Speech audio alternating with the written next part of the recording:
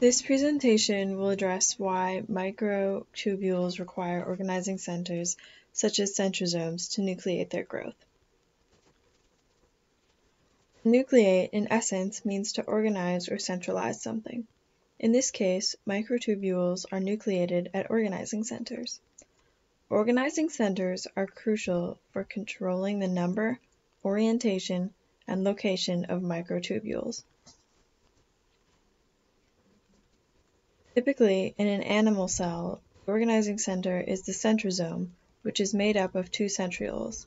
Centrioles are, are perpendicular cylindrical shaped organelles that are surrounded by a matrix of rings of tubulin, which is what microtubules are made of. These rings form nucleation sites, which is where microtubules attach and form. In theory, microtubules could self-assemble in the cytoplasm without these nucleation sites to get them started. However, this does not actually occur.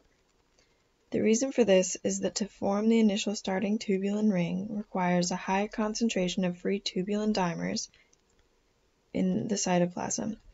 Typically these dimers are not found in a high enough concentration to form a full ring, only enough to build off the ring structure.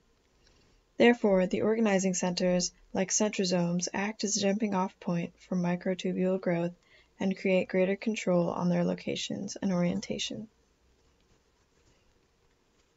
In addition, microtubules have a property called dynamic instability, which allows for them to assemble and disassemble rapidly and continuously. To get a microtubule to stay assembled and become a stable part of the cytoskeleton, it must be it must come in contact with another cell structure.